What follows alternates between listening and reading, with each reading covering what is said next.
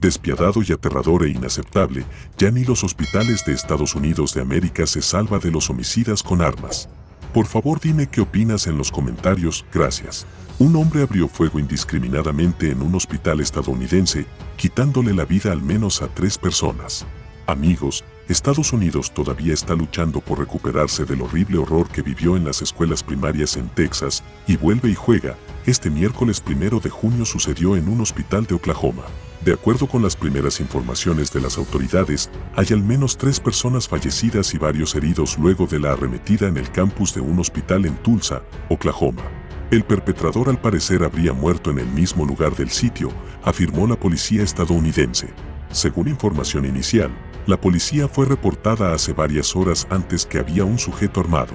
Sin embargo, cuando los uniformados llegaron al lugar, la situación se complicó y comenzaron los disturbios.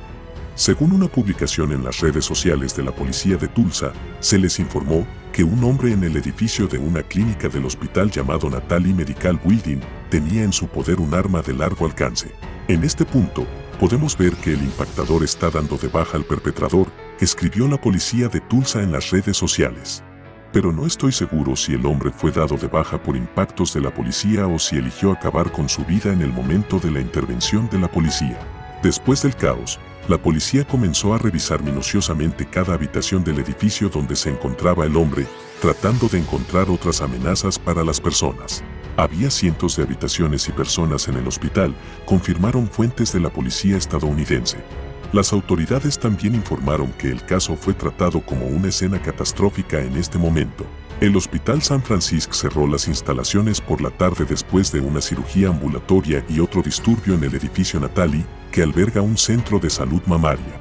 El hospital fue evacuado de inmediato y se podía ver a los socorristas cargando a personas que estaban en San Francisco en el momento del tiroteo.